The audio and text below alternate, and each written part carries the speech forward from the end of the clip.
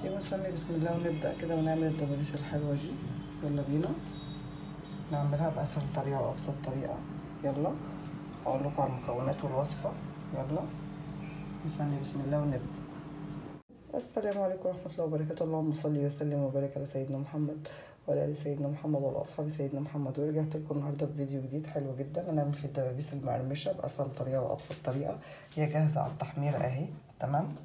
هنعمل نقشر البطاطس. نحمر البطاطس الأول وبعدين نحمر الدبابيس. يلا نسمي بسم الله ونبدأ. نقشر البطاطس ونرجع نحمرها معاكم. يلا بينا. قشرت البطاطس وقطعتها زي ما أنتم شايفين صوابع كده حلوة تخينة مش رفيعة.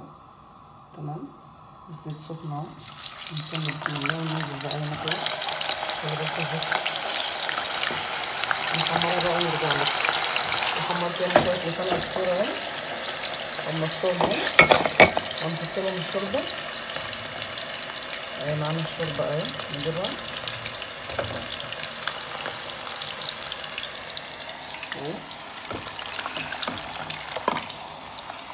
نولع عليها تستوي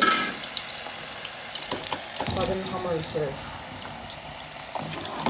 نيجي نطلع البطاطس ونرجع لكم ونحمر معاكم الفراخ الدبابيس.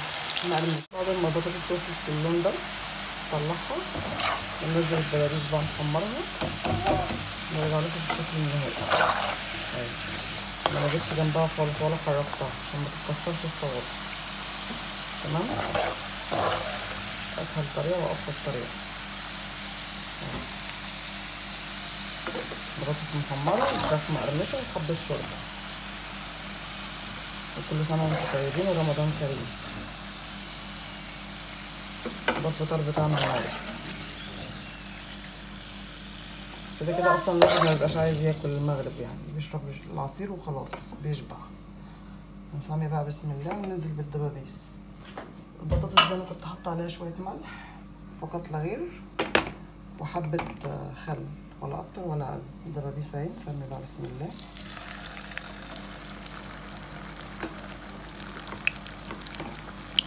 الدبابيس دي أنا كنت عاملة بيها حلقة في القناة عندكم هتلاقوها. كنت تسهل علينا الوقت في المطبخ.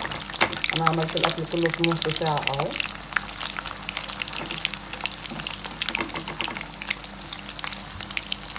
الدبابيس احمرت اهي بقت حلوة أهي زي ما أنتم شايفين. أنا بعملها على نار هادية. احمرها على نار هادية قوي تمام؟ دقيقتين ثلاثة كده وهطلعها. مش أحلى من كده بقى. بتاع الكوكو واحلى من بتاع الكونتيك نص ساعة أو أقل من نص ساعة. الاكل خلصان انتظروني بقى في الشكل النهائي. كده يبقى الشكل النهائي للدبابيس المقرمشة. حلوة جدا.